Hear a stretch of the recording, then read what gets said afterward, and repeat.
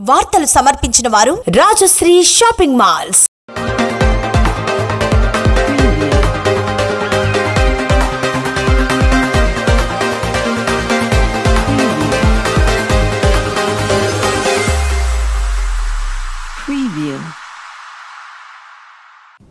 నమస్తే welcome to LRT news. నేను మమత. బులెటిన్లో హెడ్లైన్స్ చూద్దాం. తిపాపూర్లోని వంద పడకల ఆసుపత్రిని సందర్శించిన మున్సిపల్ కమిషనర్ శ్యామ్ సుందర్ రావు వైద్యాధికారి మహేష్ రావు. బాధితురాలు ఫిర్యాదు మేరకు కరోనా పరీక్షల్లో తప్పుడు రిపోర్ట్ ఇచ్చినందుకు మాతృశ్రీ కోవిడ్ ఆసుపత్రిపై కేసు నమోదు. కరోనాతో తలెత్తిన పరిస్థితులను ఎదుర్కొనడంలో కేంద్ర రాష్ట్ర ప్రభుత్వాలు తప్పుడు నిర్ణయాలు. కాంగ్రెస్ నేత ఆది శ్రీనివాస్. అల్మాస్పూర్ గ్రామంలో సామాజిక కుల బహిష్కరణకు నిరసనగా వార్డు మెంబర్లు రాజీనామా. పోర్తుగల్ వ్యవసాయ మార్కెట్ కమిటీ వరిధాన్యం కొనుగోలు కేంద్రాన్ని సందర్శించిన డీసీఓ బుద్ధనాయుడు. కరోనా ట్రీట్మెంట్ను ఆరోగ్యశ్రీలో చేర్చాలి. విశ్వ హిందూ పరిషత్ బజరంగ్ దళ్ నాయకులు ఆందోళన.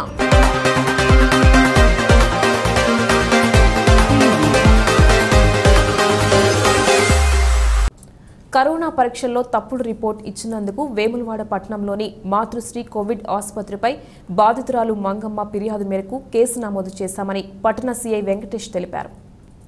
పోలీసులు తెలిపిన వివరాల ప్రకారం చిట్టి మంగమ్మ అనే పేషెంట్ స్వల్ప లక్షణాలతో మాతృశ్రీ ఆసుపత్రిలో చేరింది. వైద్యులు ఆమెను పరీక్షించి సిటీ స్కాన్ రక్త పరీక్షలు చేశారు. కరోనా పాజిటివ్ వచ్చిందని ఆసుపత్రిలో అడ్మిట్ కావాలని వైద్యులు ఆమెకు సూచించారు. దాదాపు లక్ష యాభై వేల రూపాయలు ఖర్చు అవుతాయని తెలపడంతో మంగమ్మ డబ్బులు లేక వేములవాడ ప్రభుత్వ ఆసుపత్రికి వెళ్ళింది. ప్రభుత్వ ఆసుపత్రిలో పరీక్షలు నిర్వహించగా కరోనా నెగిటివ్ అని వచ్చింది. నెగిటివ్ రిపోర్ట్ ఆధారంగా వేములవాడ పట్టణ పోలీస్ స్టేషన్లో ఆమె ఫిర్యాదు చేసింది. బాధితురాలి ఫిర్యాదు మేరకు పూర్తి విచారణ చేసి ఆసుపత్రిపై చర్యలు తీసుకుంటామని వేములవాడ సర్కిల్ ఇన్స్పెక్టర్ వెంకటేష్ తెలిపారు.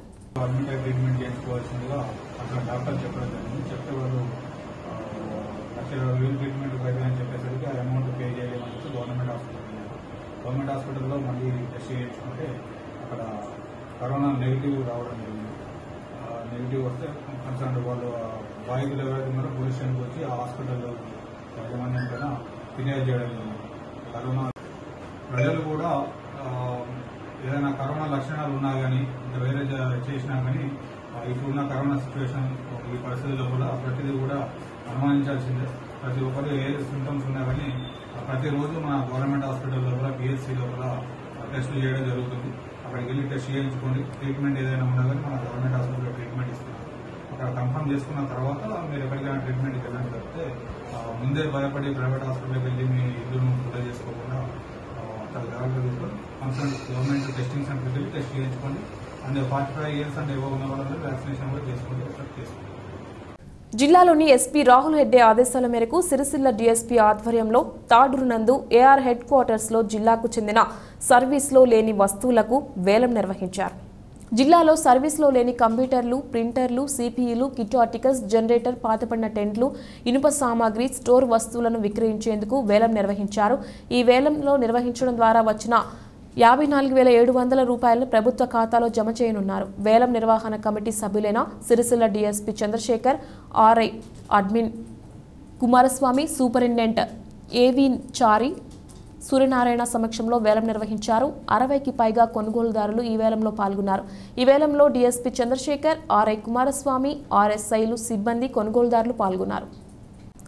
కరోనాతో తలెత్తిన పరిస్థితులను ఎదుర్కోవడంలో కేంద్ర రాష్ట్ర ప్రభుత్వాలు తప్పుడు నిర్ణయాలు తీసుకుంటున్నాయని దాని ఫలితంగానే దేశంలో కరోనా టీకాకు కొరత ఏర్పడిందని కాంగ్రెస్ నేత ఆది శ్రీనివాస్ అన్నారు. కేంద్ర రాష్ట్ర ప్రభుత్వాలు ప్రజలకు జీవించే హక్కును కాలరాస్తున్నాయని కాంగ్రెస్ నేత ఆది శ్రీనివాస్ ఆరోపించారు. విలువైన ప్రాణాల కంటే రాజకీయాలకే అమిత ప్రాధాన్యతనిస్తున్నారని ప్రజలు ప్రాణాలపై కేంద్ర రాష్ట్ర ప్రభుత్వాలకు ఏమాత్రం పట్టింపు లేదని అనిపిస్తోందని ధ్వజమెత్తారు. కేంద్ర రాష్ట్ర ప్రభుత్వాలు ప్రచారం కోసం పాకులాడే ఎత్తుగడలను వీడి ప్రజా ప్రయోజనాల గురించి ఆలోచించాలని ఆయన సూచించారు. అంటే ఈ రాష్ట్ర కేంద్ర ప్రభుత్వాలకి కరోనా మహమ్మారి పైన ముందు చూపు లేకపోవడం వల్ల ఈ సమస్య తలెత్తిందని మేము భావిస్తున్నాం. మొదటిసారి వచ్చిన కరోనాను ఒక గుణపాఠంలో తీసుకొని ఉంటే ఈ కరోనా రెండో వేవ్లో కరోనాను మరి అరికట్టేటువంటి శక్తి ఉండే కానీ వీళ్ళకు రాజకీయాలపైన ప్రేమ ఉంది. కేంద్ర ప్రభుత్వం కానీ రాష్ట్ర ప్రభుత్వాలు కానీ మేమేమో మా మా నేత రాహుల్ గాంధీ గారు రాజకీయాలు పక్కన పెట్టండి.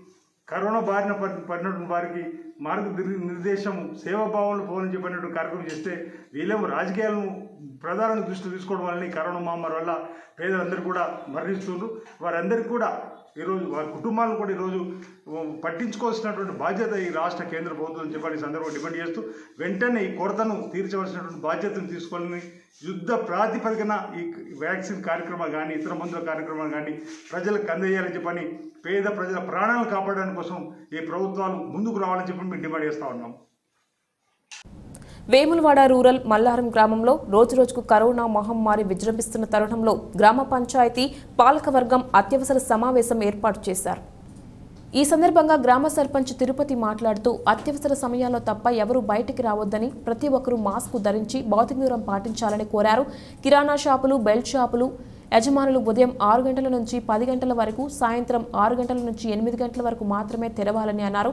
మాస్కులు లేకుండా బయటకు వచ్చిన వారికి వెయ్యి రూపాయల జరిమానా అని గుంపులు గుంపులుగా ఉన్న వారికి ఐదు వందల రూపాయల జరిమానా అని నిబంధనలు వ్యతిరేకించకుండా పాలక వర్గానికి ప్రతి ఒక్కరూ సహకరించి కరోనాను జయించాలని ఆయన కోరారు. ఈ కార్యక్రమంలో ఉప సర్పంచ్ ఎంపీటీసీలు వార్డు సభ్యులు మహిళా సంఘ సభ్యురాలు ఏఎన్ఎంలు ఆశా వర్కర్లు తదితరులు పాల్గొన్నారు.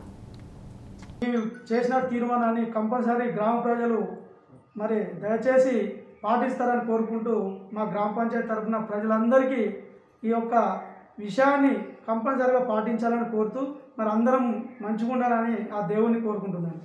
బోయినపల్లి మండలంలో మూడు ప్రాథమిక ఆరోగ్య కేంద్రాలు ఉండగా ప్రభుత్వం సరైన కిట్ల సరఫరా లేకపోవడంతో కరోనా టెస్టులు చేయడం లేదని హెల్త్ సిబ్బంది అంటున్నారు.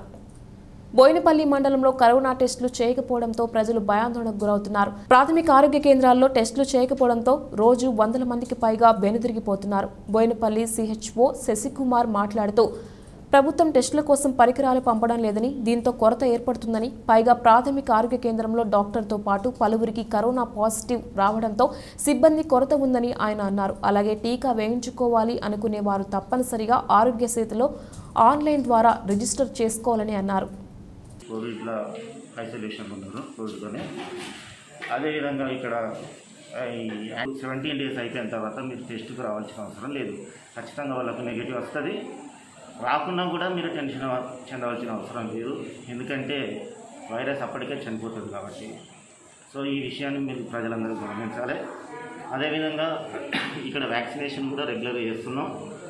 Covid vaccination. ఇప్పుడు కొత్తగా కోవిడ్ యాప్లో రిజిస్ట్రేషన్ చేసుకున్న తర్వాత మా దగ్గరికి వస్తే మేము అందరికీ వ్యాక్సినేషన్ వేయడం జరుగుతుంది. First dose again second dose కూడా. ప్రస్తుతం మాత్రం ఫార్టీ ఫైవ్ ఇయర్స్ పైన వాళ్ళకు మాత్రమే ఇంజెక్షన్ వేయడం జరుగుతుంది. ఫార్టీ ఫైవ్ ఇయర్స్ లోపల వాళ్ళకు ప్రజెంట్లో వేస్తలేము గవర్నమెంట్ ఆదేశానుసారం ఎయిటీన్ ఇయర్స్ తర్వాత కూడా మనము ఎయిటీన్ ఇయర్స్ పై వచ్చిన వాళ్ళకు కూడా ఇంజెక్షన్ వేయడం జరుగుతుంది. థ్యాంక్ యూ ముస్తాబాద్ మండలం పోర్తుగల్ వ్యవసాయ మార్కెట్ కమిటీ ఆవరణలో ఏర్పాటు చేసిన ధాన్యం కొనుగోలు కేంద్రాన్ని డీసీఓ బుద్ధనాయుడు పరిశీలించారు. వ్యవసాయ market committee chairman Seelam Janabai రైతులకు కొనుగోలు కేంద్రంలో వస్తువుల గురించి అడిగి తెలుసుకుని అనంతరం హమాలీ కార్మికులకు మాస్కులు పంపిణీ చేస్తూ హమాలీలు రైతులు ప్రతి ఒక్కరూ మాస్క్ ధరించి సామాజిక దూరం పాటించాలని సూచించారు. ఈ కార్యక్రమంలో AMC chairman Seelam Janabai DCO Buddhanaidu CEO Krishna market committee సిబ్బంది నిశాంతరావు నర్సింహులు శ్రీనివాస్ రైతులు తదితరులు పాల్గొన్నారు.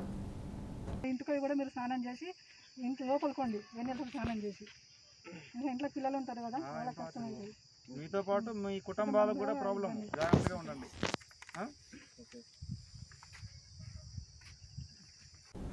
కరోనా ట్రీట్మెంట్ను ఆరోగ్యశ్రీలో చేర్చాలని రాజన్న సిరిసిల్ల జిల్లా విశ్వ హిందూ పరిషత్ సభ్యుడు డిమాండ్ చేశాడు. కరోనా సెకండ్ వేవ్తో రాష్ట్రంలో వేములవాడ పట్టణంలో చాలా మంది జనం పిట్టల్లా రాలిపోతున్నారని విశ్వ హిందూ పరిషత్ బజరంగ్ దళ్ నాయకులు ఆరోపించారు. పట్టణంలో కరోనా నిర్ధారణ పరీక్షలు చేయకపోవడంతో జనం అవస్థలు పడుతున్నారని వెంటనే కరోనా టెస్టింగ్ సంఖ్యలు పెంచాలని అదేవిధంగా కరోనా ట్రీట్మెంట్ను ఆరోగ్యశ్రీలో చేర్చాలని విశ్వ హిందూ పరిషత్ సభ్యులు డిమాండ్ చేశారు. ప్రైవేట్లో పనిచేస్తున్న ప్రభుత్వ వైద్యాధికారిపై చర్యలు తీసుకోవాలని జిల్లా అధికారులకు విజ్ఞప్తి చేశారు. ఈ కార్యక్రమంలో విశ్వ హిందూ పరిషత్ బజరంగ్ దళ నాయకులు పాల్గొన్నారు. మనం తెలుసుకోవడానికి ఇరవై వేల రూపాయలు ఖర్చు అయితే వాళ్ళు టాబ్లెట్లు ఎప్పుడు తెచ్చుకుంటారు వాళ్ళు ట్రీట్మెంట్ ఎలా చేసుకోమంటారు? ఇప్పటికీ గవర్నమెంట్ హాస్పిటల్స్లో మాకు బెడ్స్ కూడా దొరకట్లేదు. రోజు ప్లాస్మా బెడ్ గురించి మాకు రోజు ముప్పై నలభై కాల్స్ వస్తున్నాయి. మా తరఫున మేము ఎంతో ఫిఫ్టీ పర్సెంట్ దాకా మా తరఫున మేము కవర్ చేస్తున్నాం. ఎవరు కూడా మమ్మల్ని పట్టించుకుంటలేరు ఇంతవరకు. ఇప్పుడు గవర్నమెంట్ హాస్పిటల్లో శానిటైర్ శానిటైర్ కూడా లేదు. అక్కడికి వెళ్తే. టెస్ట్ కిట్లు లేవు మొత్తానికి. వ్యాక్సినేషన్ జరుగుతలేదు. ఎయిటీన్ ఇయర్స్ లోపు వాళ్ళు ఆన్లైన్లో ఎంటర్ చేసుకోరు. ఇంతవరకు ఎయిటీన్ ఇయర్స్ లోపు వాళ్ళకి ఎవరు కూడా వ్యాక్సిన్ ఇవ్వలేదు. ఫార్టీ ఇయర్స్ ఏజ్ వాళ్ళకి కూడా సెవెంటీ పర్సెంట్ అయిందని అంటున్నారు ఎవరు కూడా నాకు తెలిసిన దాదాపు ఎవరు కూడా కాలేదు ఇప్పుడు. మినిమం ఫిఫ్టీ పర్సెంట్ అయింది. ఇంకా ఫిఫ్టీ పర్సెంట్ ఉంది.